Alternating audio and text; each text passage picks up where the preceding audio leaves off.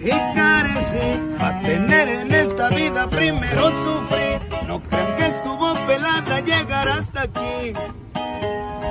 El camino no me cuentan ya de todo, a mí me ha tocado vivir.